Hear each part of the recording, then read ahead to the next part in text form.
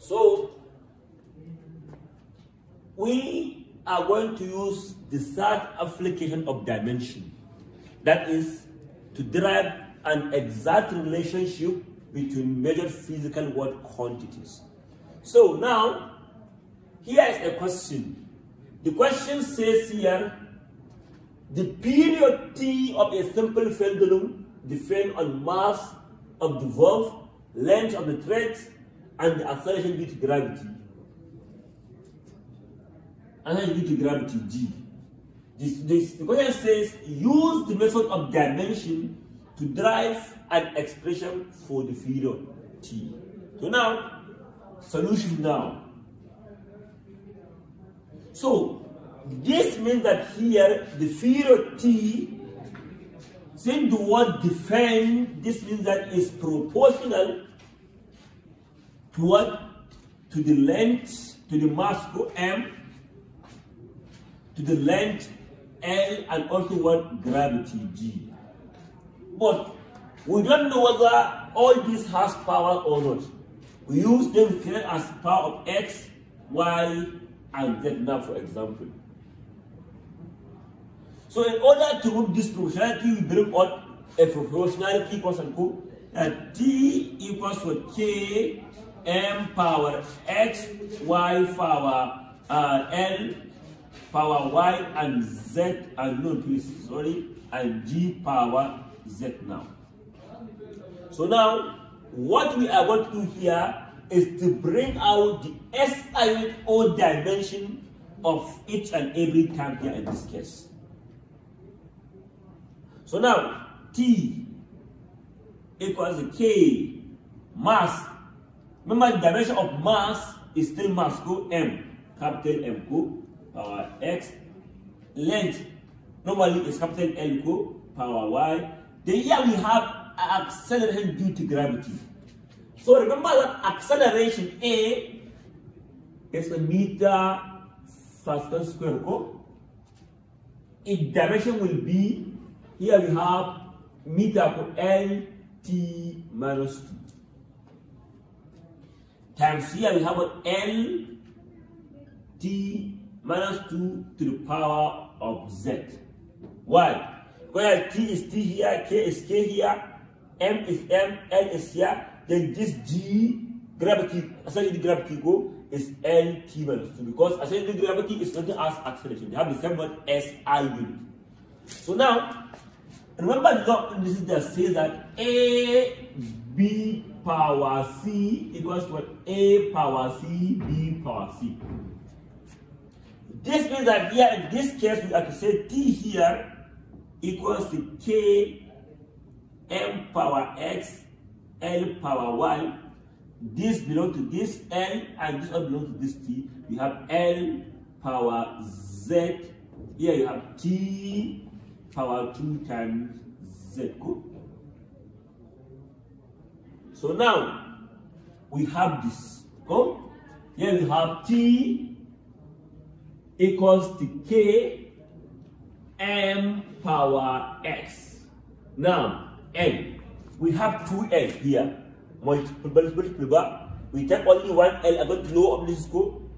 We add up the power score. We have L Y plus Z. We have here T minus 2Z. So, remember from the second of dimension, to verify the correctness of equation. Whatever is in the right hand must be equal to whatever is in the left hand. So, this means that here we have something like here M, here we have M, we have L, we have T. This means here in this case that we have M to the power of 0, L power 0, now we have T. Why? Because here is like one code. Remember, this is any to the power of 0 is equivalent to 1. Either we bring m to the power of 0 and power of 0 is all the same. Why? Because anything to the power of 0 is equal to 1. Here is 1, 1. 1 times t is something as t. So when we bring this, is when the a power of 0 equals to 1. m power 0 equals to 1. n power 0 equals to 1. So this means that this side is like m power 0, n power 0, t. Meaning here, what is left hand side will equal to what right hand side. That is why we bring this here, since our letter here we have M, L, and t. So the first thing for us to put at the power of M, L is 0. Why? Because here it's like 1. And you have m power 0, l power 0, then our t go equals what all this, for example, k, m, x, l, y plus z, then we have t minus 2z. So now we bring each term go. Now for example, here we have m and m. Here we have m 0 equals to m power x. Go. m cancel m here. Go. It means that our x equals to what? 0 now. Then we take n here and this n. Go. You see? We have n power 0 in this case equals to what? n y plus z. You see? This means that L cancel L here, go. We have what? We have 0 equals to what? Y plus Z. For now, we cannot find Y unless we find the value of what? Of Z. So then we, then we take T and T here again. We have T here equals to what? T to the power of minus 2Z. 2Z, please. Remember here is the to power of 1 go. Just cancel out this. Remaining what? 1 equals what? Minus 2z. What was by minus 2? Minus 2 go. This cancel out this go. Our z equals to what?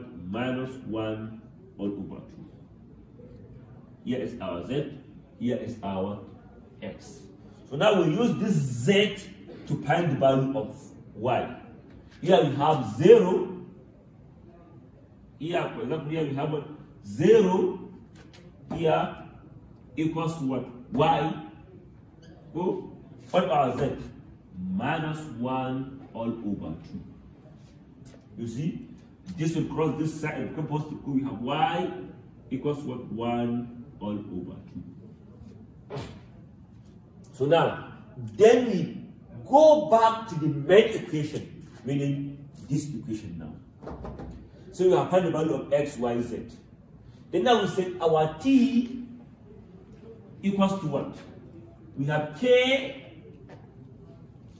m mass to the power of x, 0. You see, x is 0. Then we have l to the power of y. What's our y? 1 over 2. Then g to the power of z. What is our z? Minus 1 over 2. See? Here this becomes t equals to a k. n to the power of 0 is 1. Go. We have l 1 over 2. Then this d minus 1 over 2. This d can come down here. We have t equals k we have L power 1 over 2. This d can come, we follow 8 power of minus n equals 1 over 8 power of n. Go. Here we have all over what? G power of 1 over. Go of this, of this negative sign. But here, L and D have the same power here.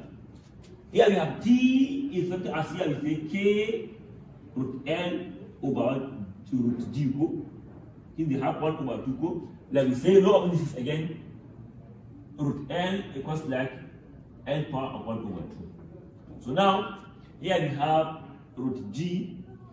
So since they have the same root here, we can take only one. We say t equals to k root l over g. Here is the equation that we were asked to find a relationship for t. Here is our final one, final answer.